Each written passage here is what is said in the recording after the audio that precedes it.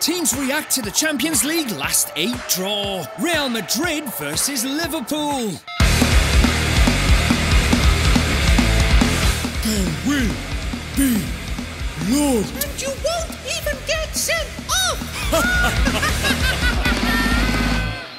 Real Madrid will play Please no.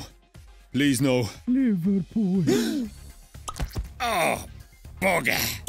Well, this just about sums up our season. On the plus side, boss, at least we don't have Karius this time. True.